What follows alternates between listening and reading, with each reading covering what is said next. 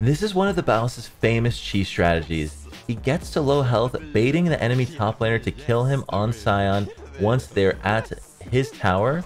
And once that happens with no flash, he kills them with the Sion passive, pushes the wave, and wins the lane.